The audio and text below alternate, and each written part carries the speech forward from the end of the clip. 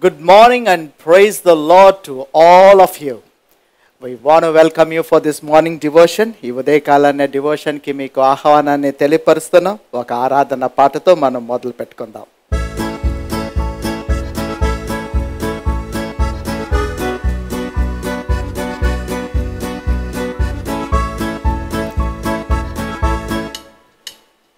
యెహోవా దయాళుడు ఆయనకే కృతజ్ఞత స్థుతులర్పించుడి యెహోవా దయాళుడు ఆయనకే కృతజ్ఞత స్థుతులర్పించుడి కృతజ్ఞతలర్పించుడి స్థుతులను చెల్లించుడి.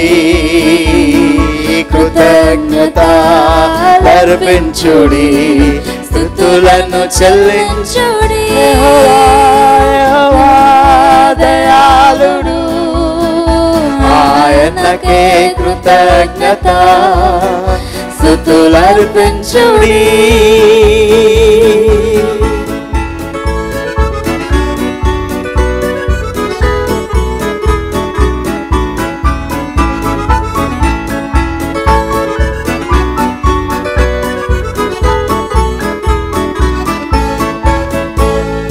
నాకము వర్షించిన ఈ లోకం నశించిన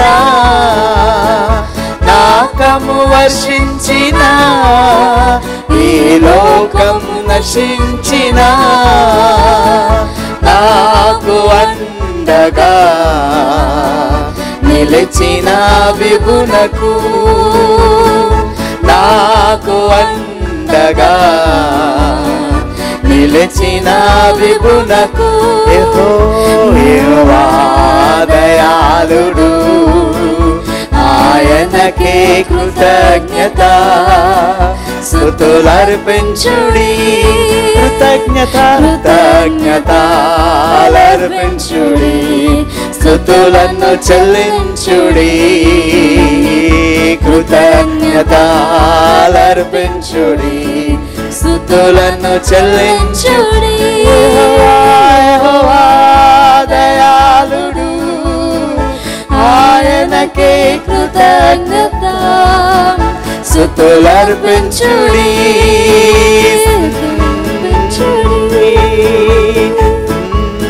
స్థుతులర్పించుడి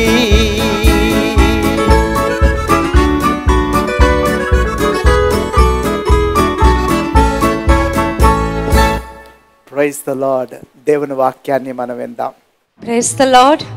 One more day God has added into our lives to glorify His name, to enjoy in His presence, to praise Him, to honor Him. So let us read Acts chapter 27, verses 34 to 36 today. Now I urge you to take some food.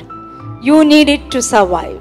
Not one of you will lose a single hair from your head, he said. After he said this, he took some bread and gave thanks to God in front of them all. Then he broke it and he began to eat. They were all encouraged and ate some food themselves.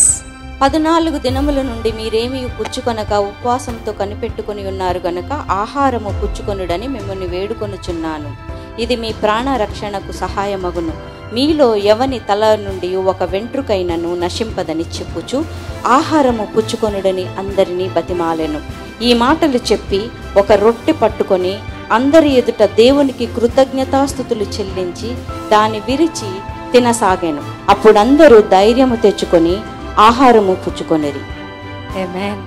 What an encouraging verse for us to today. God has given to us. 276 people were were Apostle Paul in a ship on his Rome voyage. On the way, the storm was very heavy.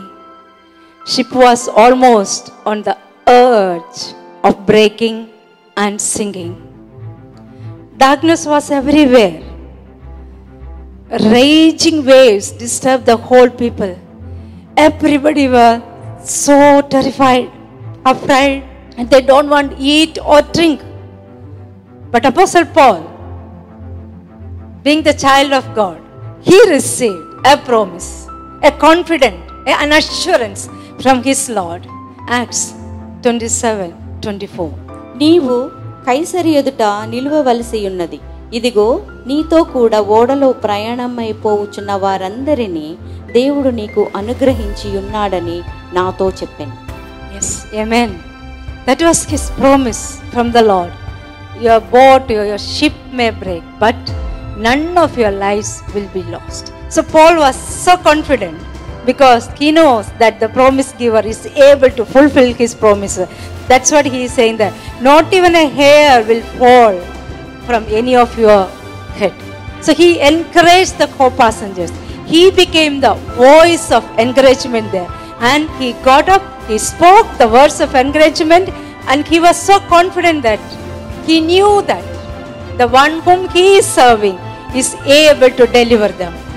And he knows that the one whom he is serving is a promise keeper, a miracle worker. So he stood among the 276 people, 276 terrified passengers, and he began to eat his food. And verse 36 says, Everyone was encouraged and took food for themselves. Today, the whole world is terrified. But you and I, being the children of God, speak faith, not your fear. Speak His promises. His promises are A and Amen. Acknowledge His presence is with you always. He never leave you, neither forsake you. He is the healer. By His stripes, you are healed. You will live. You won't die. Amen. Father, thank you for your presence, which is always with us. We pray for all those who are in quarantine and in isolation.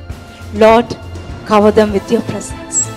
Thank you for the promise that you have given to us that you never leave us, neither forsake us. You are our anchor today, Lord.